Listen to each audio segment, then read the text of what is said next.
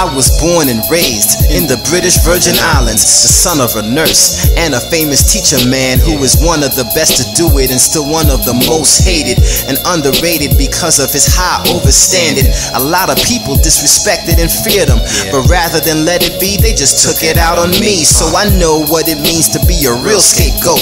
I'm kinda surprised I didn't do crack or snort coke, but these trees will do because I got these demons I'm battling, battling, cause my lines are like curses. Listen to verses. Uh. That's why I exercise my devils on many levels so I could see my words as reflections for good direction. And when I get up, I say sorry to the essence uh. for crimes against humanity. I know that I've committed. So for every bad deed that I commit, I see a punishment. Then I get a lesson and I listen to the ether like a simple man. Because I am a simple man, that's why I. That's why I'm alive. A simple man, that's why I. That's why I'm alive. Because I am a simple man, that's why I. That's why I'm alive. Because I am a simple man, that's why I. Ever since the age of five, I had the kind of eyes and ears to pay attention to anything I observed, just to keep me out of the shadows and out of the coffin of the complicated, overrated, never talked about. So let's talk about the daily destruction and how most of us don't listen to the basic instructions. And the powerful who misuse the basic instructions, fussing and huffing and puffing, knowing inside they ain't saying nothing. I make a dinner now that's good and plenty, yeah, like water from the Serengeti, man, so refreshing. I keep it simple with the vitamins and minerals, and now the signature style is beautiful now.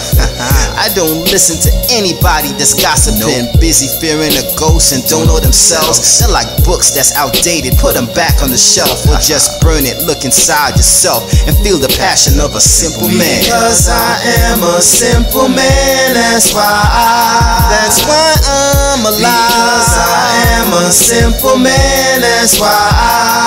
That's why I'm alive. Because I am a simple man, that's why I. That's why I'm alive. Because I am a simple man, that's why I. That's why now we all love to say it's easier said than done, but once you get it done, look what else can be said.